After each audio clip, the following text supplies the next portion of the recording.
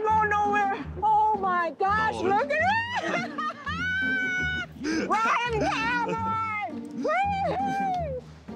DB will survive the, the camel. I mean, I feel very, very funny and very happy because she just let the inner girl inside of her just, I mean, get alive again. because she is crazy, but this is the reason why making me love her because I'm crazy too. You do have some assets. We talked about that. You own a Yes. house here and you have some money in the bank. Yes, ma'am. How about your future husband? Does does he have anything? No, he's he's just a, a farm person. He's a kid. He has He's not a nothing. kid. He has nothing. What does he have? A What did stage you What work? did you have when you were 24? I, ha- I, at least I had a full time job. Well, how old is he? He's 24 years old. 12. Well, I'm not your typical 67 year old woman. Gina, obviously, this guy is very manipulating. He's already manipulated my mom to move over there. What's to say that he doesn't manipulate her to transfer money and, and items later on? How is that protected? We hope that we don't do that, Deborah, So- because you need to protect No, your right, I'm future. It flies in the face of us trying to do what we're doing with the prenuptial agreement, which is to protect our assets. Right. Debbie contacted me a few weeks ago. I am surprised uh, to discover that Debbie's fiance is only 24 years old. That is quite an age difference. Personally, I feel that there are some red flags in this situation. Debbie is traveling halfway across the world to marry a man that doesn't have any assets. She has all the assets, and she could stand to lose everything she worked for if it, they're not protected. Suppose this happens like a fairy tale with a wonderful, happy ending for me. And say I'm married to Oussama 10 years down the road, 15 years down the road, and he is everything and more than I ever hoped he could be. Right. What if I want to drop a little money on him then? What do you suggest? You know, if everything has a happily ever after to it, and which I anticipate this time. We anticipated that with two other husbands. I would rather you not amend the prenup at all. Mm-hmm. I would suggest putting money in a joint account so that you have control over it still. Okay. Stupidest thing that I ever heard in my entire life. You always watch what you're calling stupid. This is Sometimes stupid. turns into genius, you know? I'm very afraid that once my mom is there, that she wouldn't hesitate of transferring all her American funds and money into an account that he has access to. And the way that she is talking about supporting him in the future tells me already that she has supported him and she's keeping stuff from us.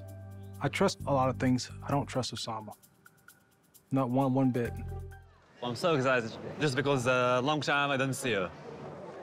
With me and DB is like we are like a team. And now I need my half to complete the team. I'm about to step into my whole new life. Now, Morocco is my home. Naturally, I have concerns, you know, with my son. Julian nagging me constantly. He plants all those seeds in me. There's a part of me that's very insecure, and I want Oussama to say, Debbie, it's going to be okay no matter what. I need that. I want to give Oussama the lead as far as when are we going to go get married. But I'd like to get married in about a month.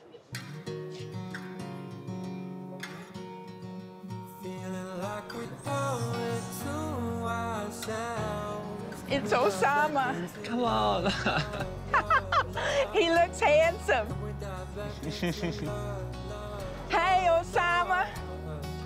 Finally. Did you miss me? Finally, I miss you so much. You look so handsome. You look like an angel, you know. Oh, golly, Oussama. It seems like a dream, doesn't it? the half was missing is getting connected now. Yes, yes. Our strange connection. Yep, Only strange you and me connection. know. Strange but beautiful. Yes. You're my strange beautiful. You're my strange beautiful too. I love you just for being yourself. Can you close your eyes? Can you open them? Oh, thank you. Thank you, Oussama.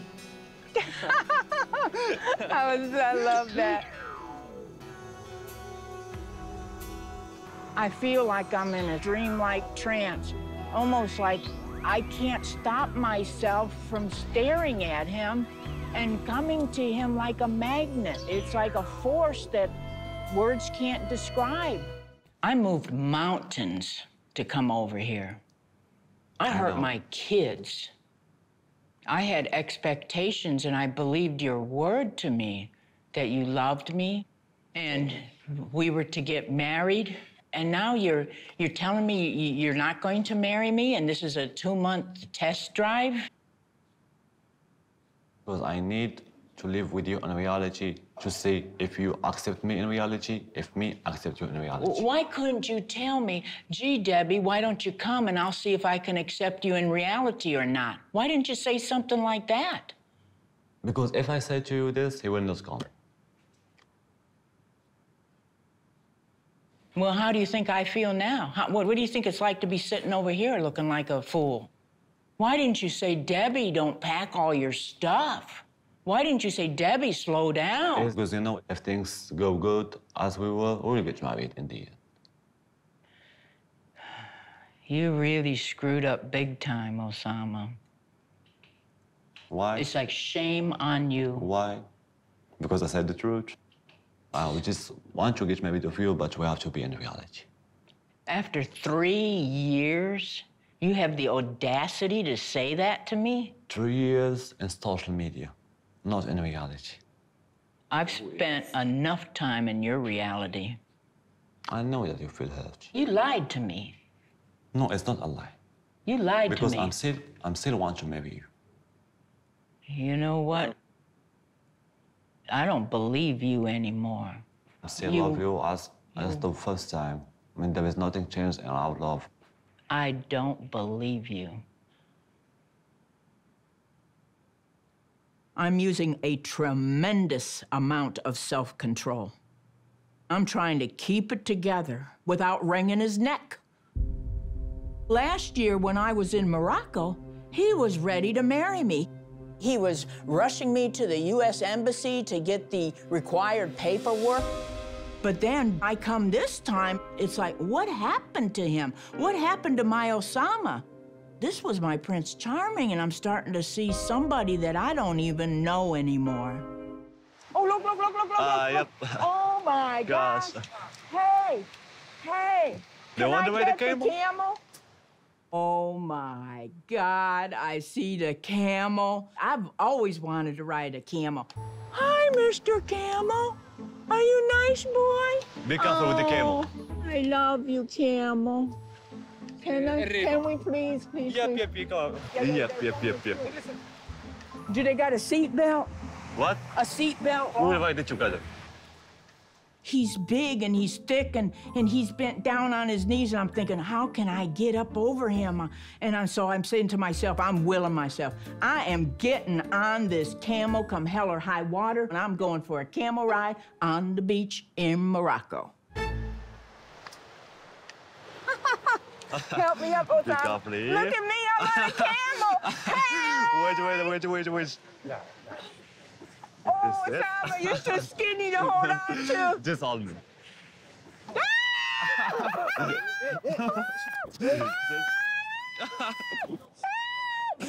Dove, dove. Crazy woman. Don't let me go nowhere. Oh my gosh, Oh. look at it. Ryan Cowboy! Woo-hoo! DB will she ride the, the camel. I mean, I feel very, very funny and very happy because she just let the inner girl inside of her just, I mean, get alive again.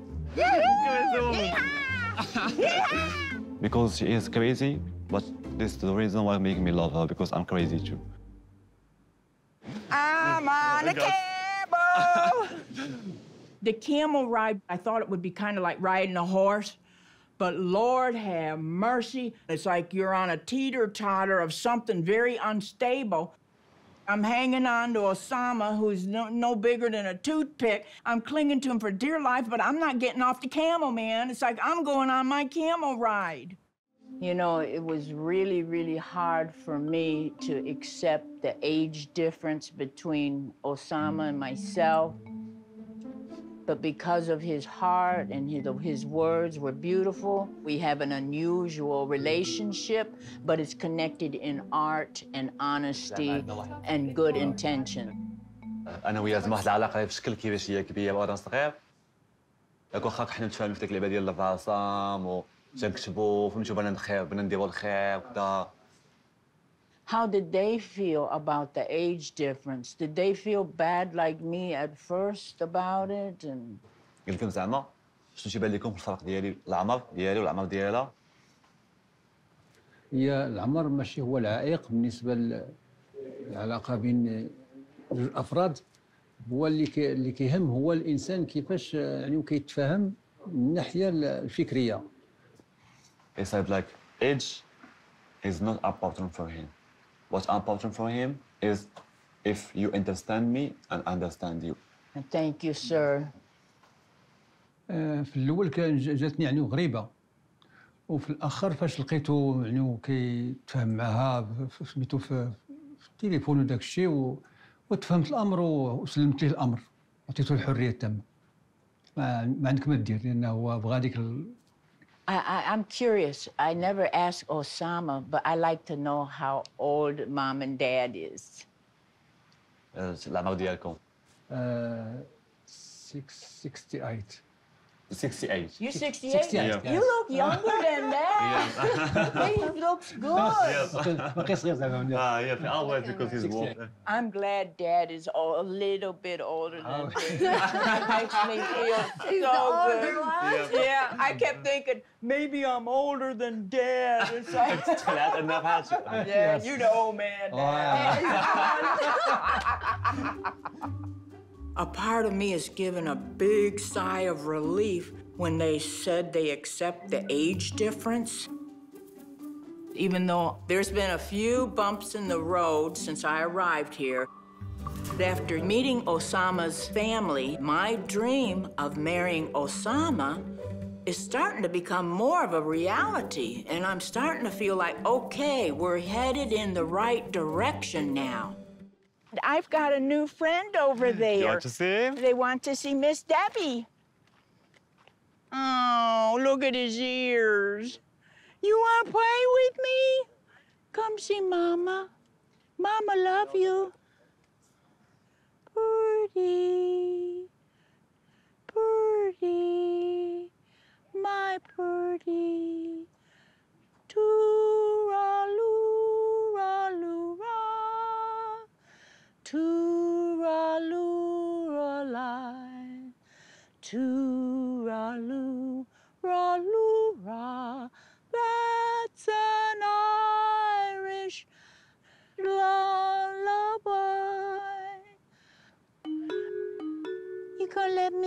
Miss Debbie ride you?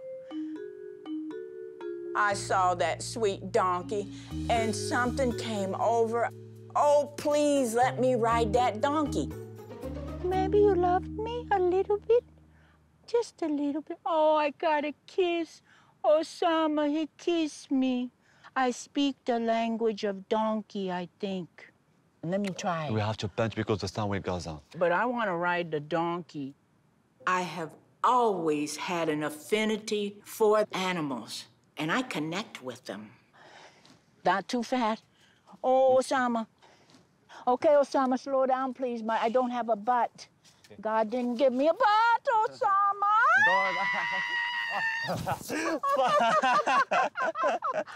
did that on purpose. I don't do man. this, no. Damn it, Oussama. Okay. I told you to be careful with the donkey. I always told you this because It's you will not the donkey, it's you. No, no, it's not me. It's not me. I told Yeah, you it's not it's you, man. What's your idea of what comes next for you and me? what do Our you mean? plans. What are Oussama's For this plans? time, I just want to paint and forget about everything. Because it's not the right time to talk about plans now. It's Well- time for creating. You can do both at the same time. No, I can't. I have one mind, not two. It's been difficult bringing this up to Oussama, but this is important. He needs to like put his input in that, yeah, we're gonna look for apartments. Yes, we're going to Rabat, and this is the best possible place that we can have this conversation. We need to have plans for our future. Yep.